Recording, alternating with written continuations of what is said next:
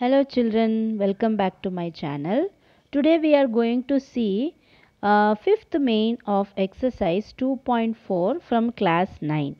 So already I have done the first question. If you have not seen you can see the video. Now we will see the second question. In the second question it is x cube minus 3x square minus 9x minus 5.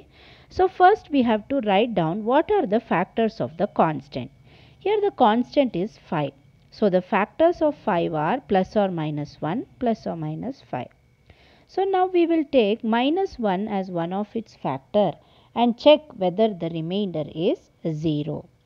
So wherever you have x substitute with minus 1 and here you get minus 1 minus 3 plus 9 and minus 5. So now you regroup them in such a way that you can see minus 9 and plus 9 you will get 0. So from this you can conclude that minus 1 is a factor of the given polynomial. So since minus 1 is a factor, x plus 1 is a factor of p of x. Since x is equal to minus 1, when minus 1 is shifted to the other side, you will get x plus 1 as one of its factor. So now out of cubic polynomial, one, poly, one factor is found. So now making use of that one factor, we are going to find out the remaining two factors. So now for that we are going to use the division method. So now we'll do the division by writing down the polynomial x cube minus 3x square minus 9x minus 5. So now that should be divided by x plus 1. You can see the first term of the dividend and the first term of the divisor and divide them both. So you will get x square now. So now you need to multiply x square with the divisor. So you will get x square into x as x cube and x square into 1 you are going to get it as x square. Now you have to change the sign.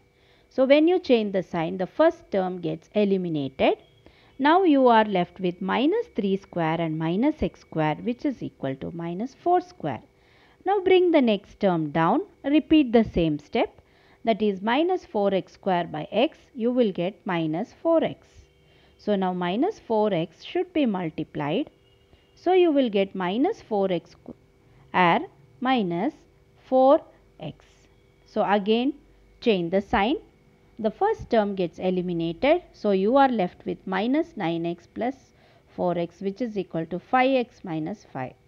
Repeat the same step to find out the terms of the quotient. So you will get minus 5. So now you have to multiply minus 5 with x minus 1. So where you will get minus 5x and minus 5 where all the terms will get eliminated once when you change the sign. So now from the cubic polynomial you have arrived at the quadratic polynomial x square minus 4x minus 5. So here now you have to see the factors of minus 5. So factors of minus 5 here we can take 5 and 1 as we want minus 5 so we will put minus 5 and plus 1 and replace 4x with minus 5 and 1. So by doing this now you can take the common factor. So once when you take the common factor you will get to know how to find out the other two factors. So you will get x minus 5 and x plus 1 as one of its factor. So now we will write all the three factors together.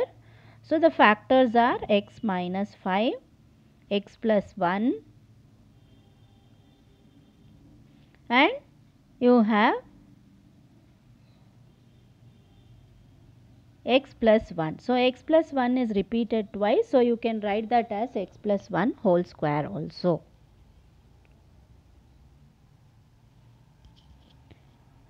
So, this